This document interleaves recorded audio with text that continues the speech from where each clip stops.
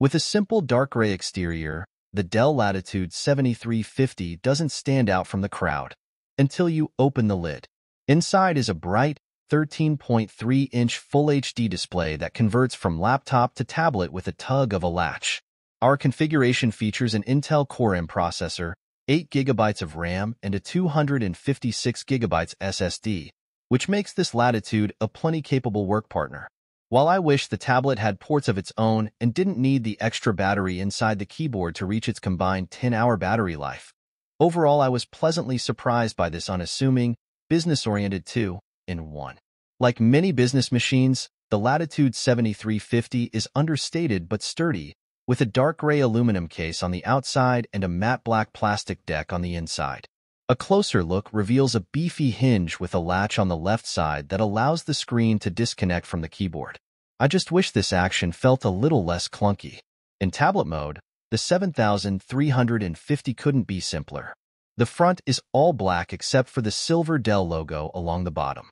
While that means there's no home button on the front, Dell resolves the issue by adding a home button to the right edge, above the volume buttons. The only other feature, aside from a lone headset jack, is the power button on the top side, which is recessed to prevent you from accidentally turning off your system. Reattaching the display to its dock means slotting the tablet back onto its proprietary connector and nearby metal tabs, and waiting for a satisfying click. There are no magnets involved, so you don't have to worry about the keyboard falling off, no matter how you hold it. The main downside to the 7350's design is its size and heft. Measuring 12.6 by 9 by 0.78 inches and weighing 3.67 pounds, it's bigger and heavier than competing machines, such as the Microsoft Surface Pro 3 tablet, 11.5 by 7.8 by 0.56 inches and 2.4 pounds with type cover attached.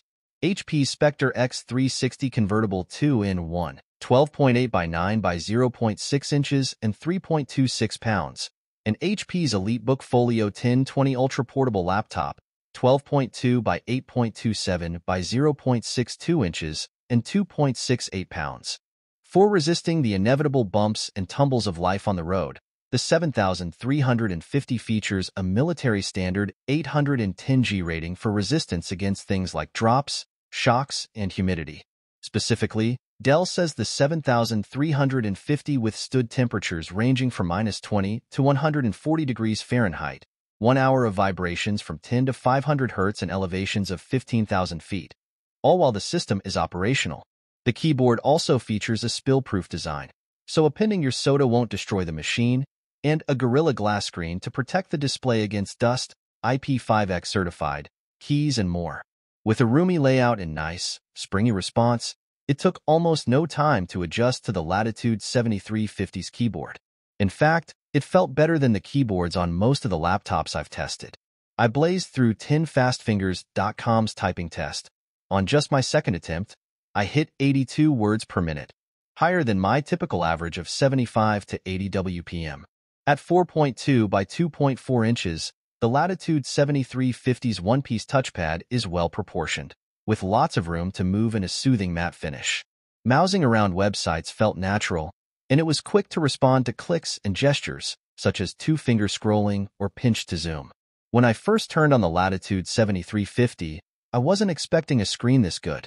Its 13.3-inch 1920 by 1080 touch screen nails the trifecta of important qualities good brightness, vivid but not oversaturated colors, and nearly perfect accuracy. When I watched the trailer for the second season of Silicon Valley, the only thing that looked better than the colorful NorCal offices were Erlich's greasy curls, which shimmered around the character in all of his obnoxious glory. The screen produces 365 nits of brightness, more than the tablet average of 340 nits, the HP Spectre X360, 339, the Surface Pro 3, 298 nits, and the DIM HP EliteBook Folio 1020, 224. Please subscribe to my channel for more